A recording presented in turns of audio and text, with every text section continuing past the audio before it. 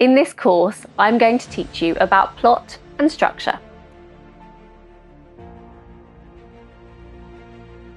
The beginning, the middle, and the end.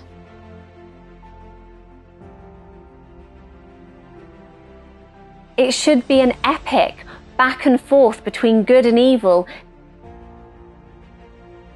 Getting the structure and plot of your story right is paramount to the success of your story.